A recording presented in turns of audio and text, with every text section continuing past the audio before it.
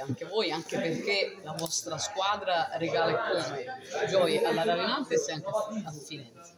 Sì, la Rainaltes Waterball Ability è una squadra composta da tutte persone con disabilità diverse e abbiamo la fortuna di avere comunque tante ragazze e ragazze che partecipano a tutti i campionati e sono quattro anni che abbiamo grandi soddisfazioni e regaliamo quindi anche soddisfazione alla nostra società.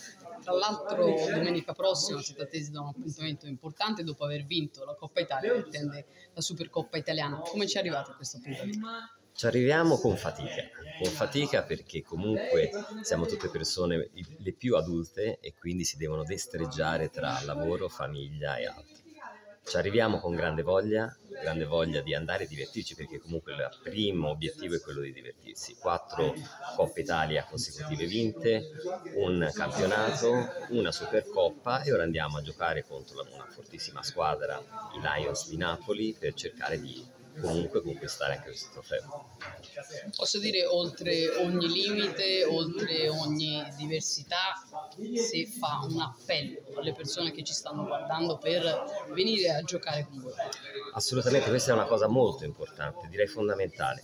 Ciò che ci manca a noi, ma come un po' tutto il movimento italiano, è i partecipanti, gli atleti atleti perché comunque questi sport sono sport poco eh, presenti, non vengono comunicati in maniera sufficiente, non è mai sufficiente. Ci sono invece tanti ragazzi perché chi nasce con una disabilità alla fine fin da piccolo parte e lavora su questo e magari anche le famiglie lo spingono a fare sport. Chi ha avuto magari invece un incidente si trova a essere disabile, tipo me, ecco che eh, gli si apre un mondo che non era il suo e l'essere consapevoli, sapere che esiste veramente questo modo di poter tornare a divertirsi, a fare attività sportiva insieme ad altre persone senza però nessun limite, perché il limite è nella testa di chi guarda, non nel nostro. Infatti noi siamo tutte persone che ognuno ha le sue disabilità fisiche, giocano e si divertono quanto è importante il vostro esempio eh, affinché appunto altri ragazzi che soffrono di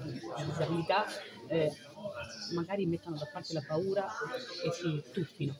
Fondamentale. Ho purtroppo conoscenza di tanti ragazzi che dopo incidenti, ripeto, un ragazzo soprattutto giovane, un ragazzo, una ragazza, viene a essere stravolto. La sua vita è veramente stravolta se si parla di un incidente.